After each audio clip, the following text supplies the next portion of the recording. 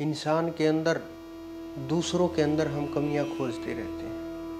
हम अपने अंदर नहीं झाँक कर के देखते कि हमारे अंदर क्या कमियाँ हैं, हमारे अंदर क्या क्या अवगुण हैं, हमारे अंदर क्या क्या दोष हैं, हमारे अंदर क्या क्या विचार चल रहे हैं।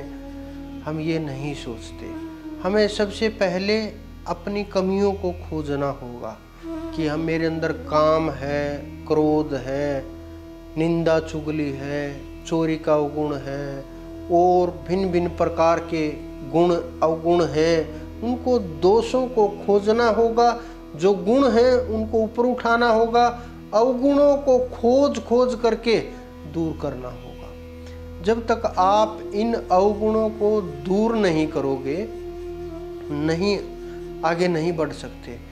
तो पहले हमें इनको खोजना पड़ेगा कि क्या हमारे अंदर बुराइयाँ जब तक आप लोगों को ये नहीं पता होगा कि आपके अंदर कितने दोष भरे पड़े हैं, कितने अंदर में दोष छुपे हुए हैं, आप कैसे दूर करोगे? पहले तो उनको ढूंढना पड़ेगा। ढूँढने के बाद क्या करना है? फिर हमें उनको स्वीकार करना पड़ेगा कि हाँ हमारे अंदर ये कमियाँ हैं। अगर आप उनको ढूंढ करके स्वीकार ही नहीं कर सकते फिर कैसे उनको दूर करोगे, दूर नहीं कर पाओगे? आप सोचो कि मैं अंदर ही अंदर अपनी कमज़ोरी और कमी को दूर कर दूँगा, नहीं कर पाओगे। फिर भूल जाओगे थोड़े समय बाद, फिर उनको छोड़ दोगे, फिर उसी स्थिति में आ जाओगे। फिर उन जो अवगुण है उनको गुण मान करके और अपने अहंकार को बढ़ावा दोगे। तो उससे ज़रूरी ये है कि हम अपनी कमियों को दूर करने का प्रयास करें। खोजने का प्रयास करें। फिर होता है कि जब ये कमियाँ पता भी चल गई, प्रयास भी चल रहा है। फिर प्रयास करते हैं कि एकदम से सब कुछ दूर कर दिया जाए। एकदम से आप दूर नहीं कर सकते। आपके इस जन्म की भी कुछ कमियाँ हैं, पिछले जन्मों के भी कुछ संस्कार हैं। एकदम से आप संस्कार को कैसे तोड़ दोगे? नहीं तोड़ पाओगे। तो आप फिर कुछ दिन उस चीज़ से हट करके दूर होने की कोशिश करोगे, लेकिन फिर वहीं आ जाओगे, फिर उससे भागोगे, फिर वहीं आ जाओगे। आप दो चार दिन, दस दिन, महीना, दो महीना पूरा ज़ोर लगा कर प्रयत्न करोगे। फिर सोचोगे कि हाँ मैं तो मेरे अंदर तो कोई कमी नहीं बची, फिर सारी दूर हो गई अब तो। अब तो बस कुछ भी कमी शेष नहीं है। लेकिन जो ही आप ढीले पड़ोगे फिर उसी प्रकार से वो कमियों का आएगी एकदम से आंधी, फिर आपके मन को उड़ा करके ले जाएगी। तो इसकी जगह पर अगर आप उन कमियों को अपनी दिनचर्या में शामिल करें, जो क्रोधी है कि मुझे क्रोध नहीं करना, पूरी दिनचर्या में उसको शामिल करें और धीरे धीरे शामिल करे। धीरे धीरे रे मनवा धीरे सब कुछ होए, माली, सींचे, सो, घड़ा, ऋतु आए पल होए।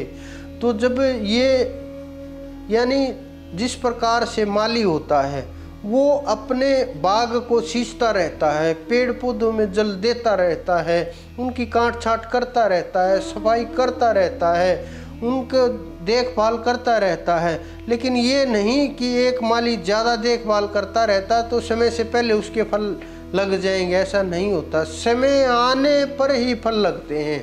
एक साथ ही फल लगते हैं। लेकिन आप ये बात भूल जाते हो। आप सोचते हो कि आज ही हो, जो कुछ हो, कल के ऊपर मैं कुछ भी न छोड़ूं। और कल जब निकले तो ये कमियाँ सब दूर मिले। ऐसा नहीं है।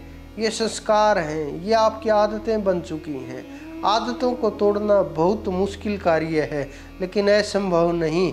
जब आप इन आदतों को तोड़ोगे, विचारों को तोड़ोगे और अपने दिनचर्या रूटीन को चेंज करोगे अंदर से, तब आप इन चीज़ों को बदल पाओगे और धीरे धीरे अभ्यास करोगे। करत करत अभ्यास के जड़मती होए सुजान, रसरी, आवत, जावत, शिल्प पड़े निशान।